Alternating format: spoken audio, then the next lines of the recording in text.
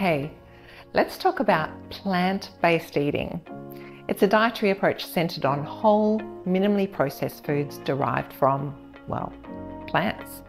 The focus is on maximizing your intake of fruits, vegetables, whole grains, legumes, nuts, and seeds. As you know, plant based diets can vary in strictness, with some people choosing to cut out all animal products, so that would be a vegan diet, and others cutting out all meats, but perhaps keeping eggs and dairy in their diets. So that's vegetarian. But you don't need to buy into the strict avoidance of anything really. You can choose to be a flexitarian. No guilt or restriction required, just new choices and an abundance of plant foods. Here are some key points to consider though.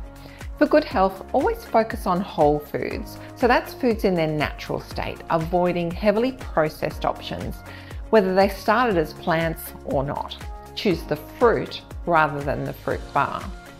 Go for variety, so ensure you get a wide range of nutrients because each type of food within a food group has their own range of benefits. So be sure to include seeds as well as nuts, for example. And as always, fill half your plate with colourful vegetables. Make them the star of the meal. Don't forget the protein though. A plant-based diet is not a meat and vegetables without the meat. Find your protein in legumes, so baked beans, kidney beans, lentils, chickpeas, and also tofu, tempeh, or nuts are also excellent sources of plant-based protein. Plant-based eating can be quite a powerful tool for managing your weight too.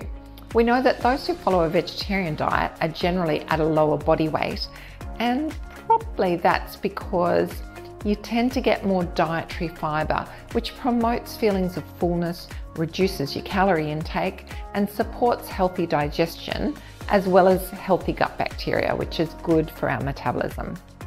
You've also generally got lower calorie density in plant foods, and that's because fruits and vegetables have more fibre and water per cup than a lot of other choices.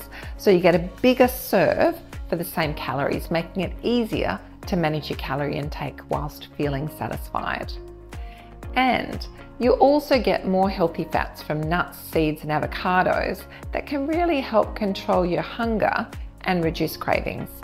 Remember, you don't have to be perfect. It's not an all or none approach. The greater the proportion of your diet that plants take up, the better. And it's not just the animal foods that we're trying to crowd out, it's also the highly processed sugars, fats, white flours, and alcohol. So instead of focusing on what you're trying to eat less of, just expand the amount of plant based foods you eat, and the rest should take care of itself.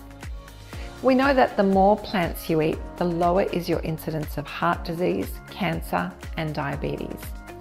Now, some of that comes from the antioxidants and other anti inflammatory plant based chemicals that we've talked about before. Remember this? To get started, make some gradual changes. Start replacing some meals with plant only meals. Check out our recipes and meal plans that fit the portion perfection system if you're looking for meals in the right portion size. Do some meal planning. Don't leave it to chance. Do it with intention. And bulk up with snacks with minimally processed plants. So fruits, vegetable sticks and hummus, or nuts make perfect snacks. So when you're planning your meal plan for the week, fill in the blanks with plant-based snacks. Enjoy the benefits of more plants in your life, and I'll see you next time.